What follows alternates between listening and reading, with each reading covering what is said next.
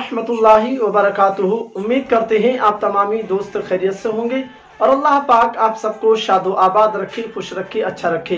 दोस्तानी मोहतरम, जैसा कि आप देख रहे हैं, आपको हर जगह की अपडेट शिहाब भाई के बारे में मिल रही है और शिहाब भाई हज का सफ़र जारी रखे हुए हैं। वहीं पर दूसरी जानिब, कुछ उलमाए इकराम ऐसे हैं जो शिहाब भाई के ऊपर लगातार फतवागिरी देने में लगे हैं। कि इस पैदल नहीं जाना चाहिए था। वो जहाँ पहुँच गए हैं वहीं से उनको वापस आना चाहिए था। आप हमारी स्क्रीन पर देखिए ये जो हज़रत हैं ये बोल रहे हैं इनके बारे में सुनिए। से इतने हज़ारों किलोमीटर का सफ़र करते हुए हज को निकलना दीन नहीं है बेवकूफ़ी है। गूगल वाली मिल गई उसको आप मक्का डाल दिए उन्हें वॉकिंग डिस्टेंस बता दिए ऐसा जाओ वैसा जाओ वैसे जाओ खाली इसके पीछे दीवाने होकर निकल जाएँगे। जहाँ जा रहे हैं, ये कोई अकलमंदी वाली बात नहीं है, ये सारी बेवकूफ़ी है। तो मैं उनसे कहना चाहता हूँ कि अकलमंदी आप अपने पास में रखिए, वो किसी से ये नहीं कहना चाहते हैं कि आप हमारे साथ में आइए या किसी को फ़ोन करके उन्होंने नहीं बुलाया बल्कि वो आने वाली नस्लों को ये बताना चाहते हैं कि तुमसे पाँच वक्त की नमाज़ नहीं पढ़ी जाती। देखो मैंने पैदल हज अदा किया है। दोस्तान मोहतरम यही आपसे गुजारिश है कि आप पूरी वीडियो देखिए इतने हज़ारों किलोमीटर का सफ़र करते हुए हज को निकलना दीन नहीं है बेवकूफ़ी है। गूगल वाली मिल गई उसको आप मक्का डाल दिए उन्हें वॉकिंग डिस्टेंस बता दिए ऐसा जाओ वैसा जाओ वैसे जाओ। सब लोग इधर रुको। ठीक है बोल रहा है कि सब लोग इधर ही रुको। कोई तकलीफ़ नहीं चाहिए मेरे को। इधर रुको। ठीक है? इंशाल्लाह सबके लिए दुआ सबके लिए दुआ करेगा। आप मेरे के लिए दुआ करेगा।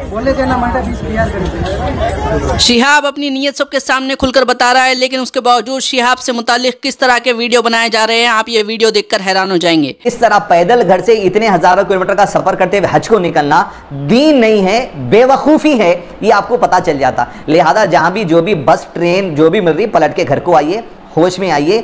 इतनी मेहनत का जो जज्बा है ये जज्बा आने वाले दो तीन साल दीन सीखने में लगा दीजिए। आपकी दुनिया भी संवर जाएँगी, आपकी दुनिया भी आखिरत भी समझ जाती, आपकी सेहत भी समझ जाती और आप दीन को सही समझ के दुनिया और आखिरत में कामयाबी हासिल करने वाले बन जाते। अब रही बात, निकल गए, मैं तो बोलूँगा लोगों में पब्लिसिटी होके बहुत अच्छा हो गया। दीन के मामले में बेवकूफ़ी किसे कहते हैं? ये दुनिया के सामने आ गई। मैं उस भाई से गुजारिश करूँगा, जहाँ भी जो भी बस ट्रेन मिल रही, पलट के खामोश घर को आ जाइए। दीन वो नहीं है जो आप समझ रहे हैं। जज्बात दीन का नाम होने नहीं होता। दलील पे अमल करने को दीन कहा जाता है। लिहाजा दूसरे लोग भी ऐसे जज्बाती हो गए, बैग बन ले रहे हैं, कोई साइकिल पे हज को जाने को जा रहा, कोई सौ पैदल जाने को जा रहा। होश में रहिए, दीन जज्बात का नाम नहीं है। कुरान और सुन्नत पे जो अल्लाह के नबी वसल्लम ने अमल कर कर बताया, आसानी के साथ बताया, उसे दीन कहा जाता है। अपनी मर्ज़ी, अपने जज्बात, अपने जानों पे बोझ डाल लेने को दीन नहीं कहा जाता।